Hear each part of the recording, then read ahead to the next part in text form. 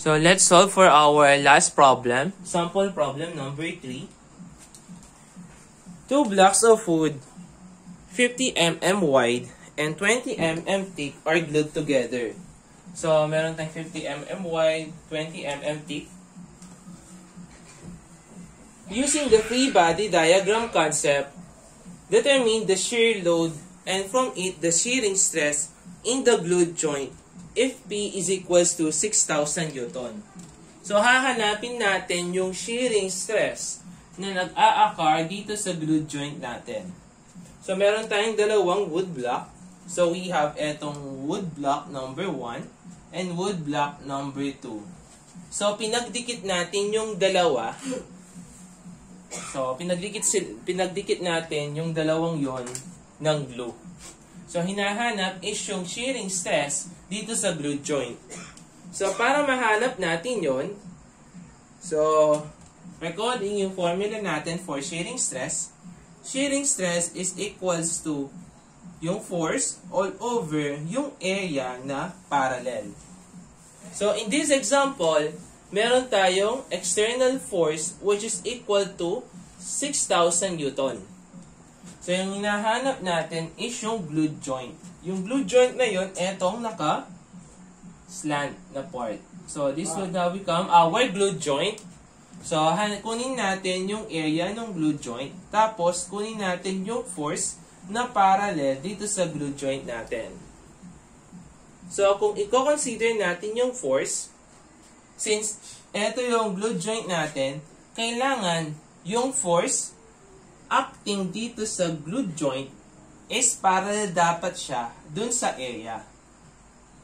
So, kung i-consider natin yan, yung force natin, magkakaroon tayo dyan ng So, by alternating angles, kung 60 degrees to, therefore, yung kabila is also 60 degrees. So, yung external force P natin, pwede natin yang i-divide sa dalawa since meron tayong 60 degrees dito. Ito. Sabihin natin that is yung external force tangential at saka yung external force natin na normal. So, mangyayari niyan, etong force natin na tangential, siya yung magiging parallel dun sa glute joint natin. So, para mahanap natin yung yung piece of T natin o yung external force tangential is equals to, meron tayong P, para mahanap natin yung x component niya, that is P cosine 60. So the value of our P is equals to 6,000 cosine, etong angle natin, with respect dito sa x-axis. So, mangyayari niyan is yung magsisilbing x-axis is eto. This will become our x-axis. Tapos, etong nasa taas naman, that will become our y-axis. So, yung magiging plane natin yan is etong glute joint natin. So, 6,000 cosine 60. So, the value of our force tangential is equal to 3,000 Newton. Wherein, yung external force tangential natin, that is equal sa V natin sa formula. So, yung pinoproblema na lang natin yan is yung value ng area. Meron na tayong value ng force, hahanapin na lang natin yung value ng area natin. So, para mahanap natin yung area, so, consider lang natin to. So, yung glue joint natin,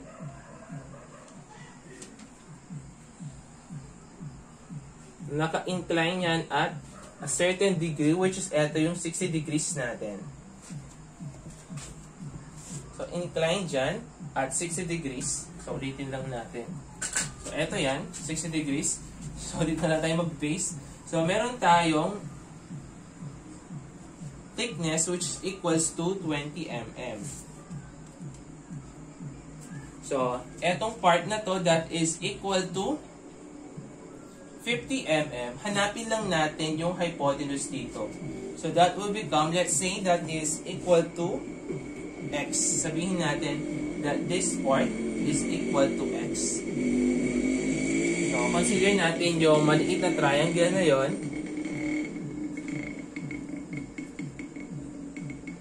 So, this is 60 degrees. Tapos, eto, that will become yung thickness natin na 20 mm. Tapos, eto yung x natin. So, x, so that will become opposite over over hypotenuse. So, mangyayari, sine 60 is equals to opposite, which is equal to 20, all over x. So, the value of our x is equals to 20 all over sine 60 degrees. so, hanapin natin yung area natin. So, yung value ng x natin, ito yan.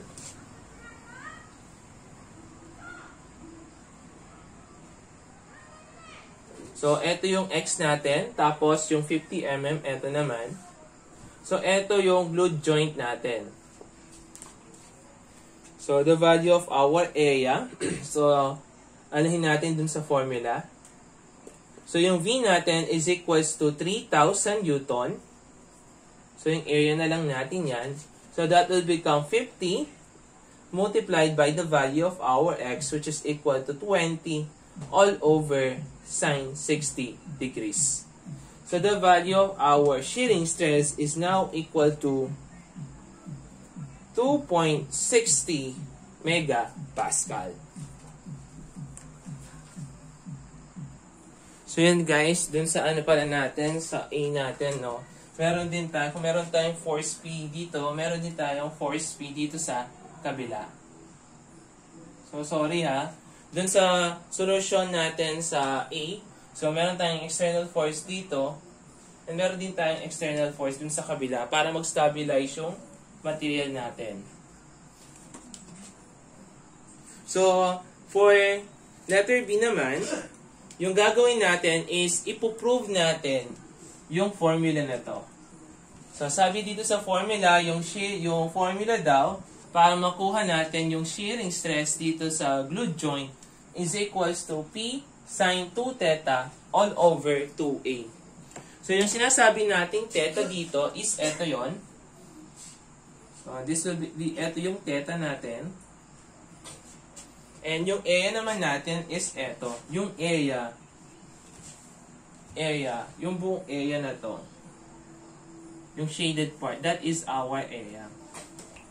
And yung P naman natin, yun yung external force natin. So, ipoprove natin na ito yung magiging formula natin para makuha natin yung shear stress dun sa glute joint. So, siyempre, consider muna natin yung free body diagram natin dito sa isang wood. So, that will become yung meron tayong external force P. Tapos, meron tayong theta dito. So, meaning to say, kung theta to, the value no, tet, yung angle natin dito is equal to theta. So, meaning to say, since ito yung y-axis natin, ito yung x-axis natin, para makuha natin yung force natin, external force normal, that is equal to P cosine theta. Kasi nga, yung angle natin, with respect siya dun sa y-axis. Next naman, para makuha naman natin yung P tangential natin, that is P sine theta.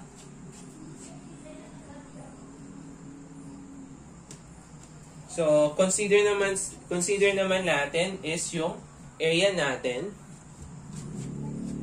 So, yung area natin dito is eto. Etong shaded part, this is our area. So, hahanapin natin is yung area natin na nakapaslan, which is yung glute joint. So, kung hahanap, kung titingnan natin yan, so, mangyayari is,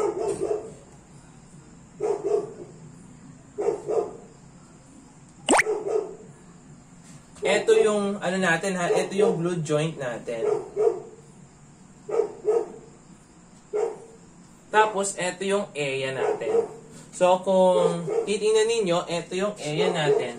So, kung magka-cut tayo dito, so kung ano yung area natin dito, siya yung magsisilbing area natin sa part na to.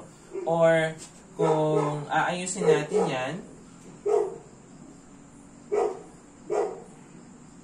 So, yung A na yan, ito yan. So, etong buong to. Tapos, yung area natin, nakapaslant lang siya. So, kung titingnan natin yan, ito yung A natin. Tapos, ito yung nasa glue joint natin. So, let's say yung area natin dito sa glue joint is denoted by letter X.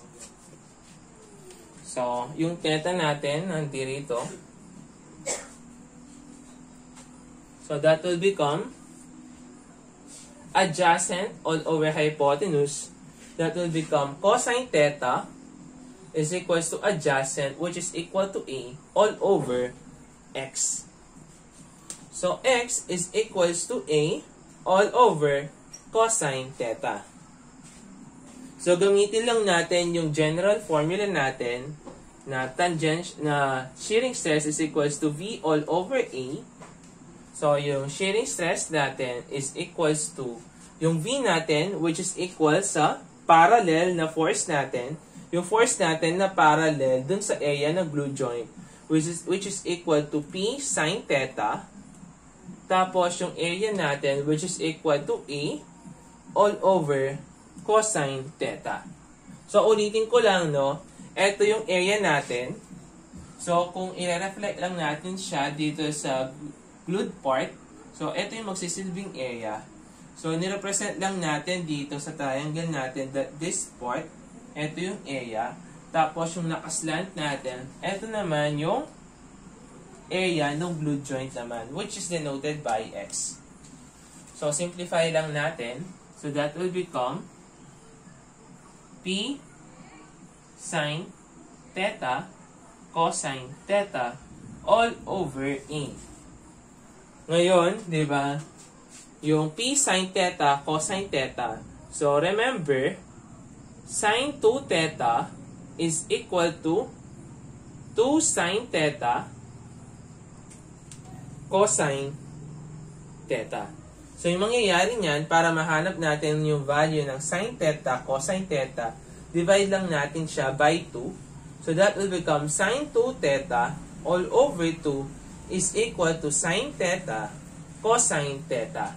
So, mangyayari niyan, the value of our shearing stress is equal to ano, is equal to P sine 2 theta all over 2 over A. Kung aayusin natin yan, that is equal to P sine 2 theta all over 2a. So this will now become our general formula. So this will become our answer.